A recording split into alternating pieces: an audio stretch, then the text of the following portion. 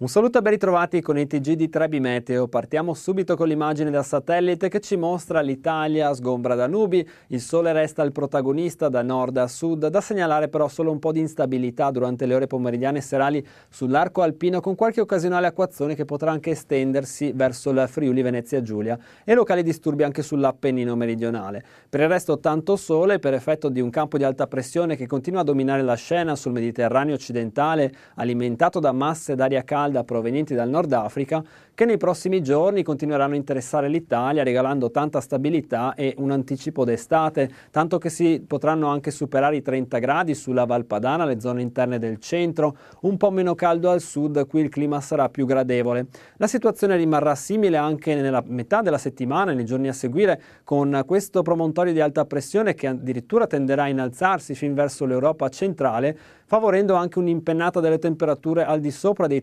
32-33 gradi, un caldo intenso e che inizierà ad essere anche afoso, in particolare sulla Val Padana. La situazione però in vista del weekend vedrà l'arretramento di questo campo di alta pressione sul Mediterraneo occidentale per l'intensificarsi del flusso atlantico sull'Europa centrale che potrebbe quindi coinvogliare un po' di instabilità anche sulle nostre regioni, in particolare sull'arco alpino, ma per tutti i dettagli consultate l'app di Trebi Meteo.